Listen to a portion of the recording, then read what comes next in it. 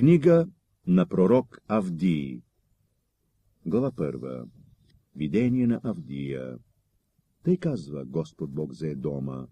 Вест чухме от Господа и пратеник е пратен да яви на народите, ставайте и да излезем против него на война. Ето, аз те направих малък между народите, и ти си в голямо презрение. Гордостта на твоето сърце те е заблудила, ти живееш в скални пукнатини, на високо място и говориш сърце си, кой ще ме свали на земята? Но, макар и като орел да се издигнеш високо и сред звездите да устроиш гнездото си, и оттам ще те сваля, казва Господ. Дали кръци не са идвали при тебе, дали не нощни грабителите си толкова разорен?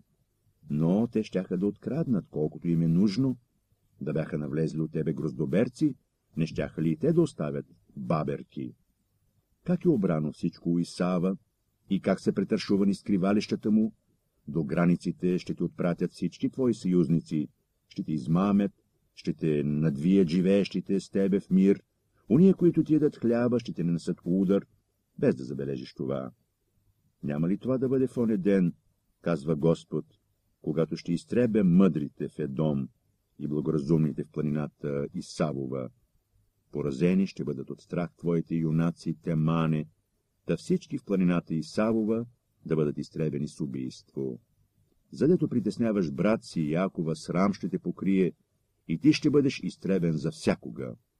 В деня, когато ти стоеше на среща, в оне ден, когато чужденци отвеждаха в плен войската му и другоплеменници влязоха в портите му и хвърлиха жреби за Ярусалим, ти беше като един от тях. Не трябваше ти злорадно да гледаш на братовия си син на деня на неговото отчуждение, не трябваше да се радваш на синовете юдини в деня на тяхната гибел, нито да разтваряш уста в бедствения ден. Не трябваше да влизаш в портите на моя народ, в деня на злочестината му и дори да гледаш до получието му в деня на неговата гибел, нито да се допираш до имотите му в бедствения му ден, нито да стоиш по кръстопътища, да избиваш неговите бежанци, нито да предаваш оцелялите от него в бедствения ден защото близък е денят Господен за всички народи. Както си ти постъпвал, тъй ще се постъпи и с тебе, каквото си вършил, ще падне върху главата ти. Защото, както вие пихте на светата моя планина, тъй всички народи всякога ще пият, ще пият, ще гълтат и ще бъдат, като да не са били. А на планина Сион ще бъде спасение, и тя ще бъде светиня, и думът Яковов ще получи във владение своето наследие, и думът Яковов ще бъде огън, думът Йосифов пламък, а думът Исавов слама.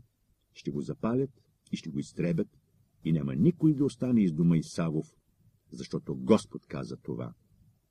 И уния, които са на юг, ще завладеят планината Исавова, а уния, които са в долината, филистимците, и ще завладеят полето на Ефрема и полето на Самария, а Вениамин ще завладее Галаат и преселниците из войската на синовете Израилеви ще завладеят ханаанската земя до Сарепта, а преселниците из Ярусалим, които се намират в Сефарат, ще получат за владение южните градове. И ще дойдат спасители на планина Сион, за да съдят планината Исавова, и царството ще бъде Господне.